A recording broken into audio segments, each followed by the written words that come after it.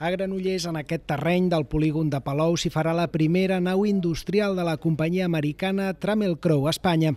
Aquest matí s'hi ha col·locat la primera pedra. La nau ocuparà 8.500 metres quadrats i aquesta promotora dels Estats Units ja està en converses per llogar-la.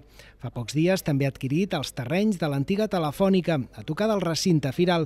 Aquí hi haurà dues naus més, també per lloguer, de 14.000 metres quadrats. Les dues operacions han suposat una inversió de 30 milions d'euros i les dues tenen un altre punt en comú. Es dedicaran a l'imparable sector de la logística i és que ja fa temps que els polígons de la comarca estan experimentant un canvi de paradigma.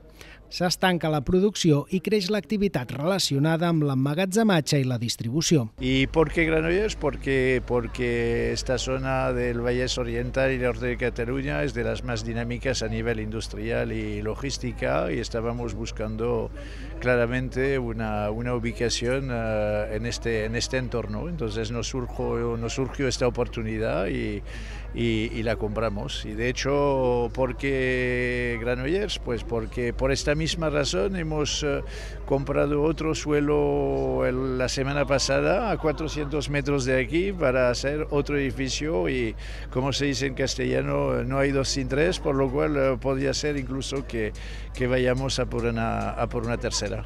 Una tercera possible compra que encara pot fer incrementar més la inversió a Granollers d'aquesta companyia, una de les promotores immobiliàries més grans dels Estats Units.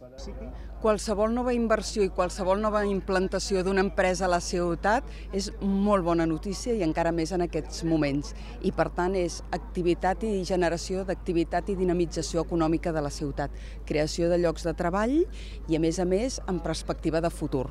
Diversos sectors s'estan desenvolupant a la ciutat i per tant revitalitzar uns espais que ara mateix estaven en desús doncs sempre és molt bona notícia per la ciutat, per la comarca i per l'entorn. Les obres d'aquesta primera nau acabaran d'aquí a sis mesos i la companyia ja està en negociacions amb dos possibles inquilins.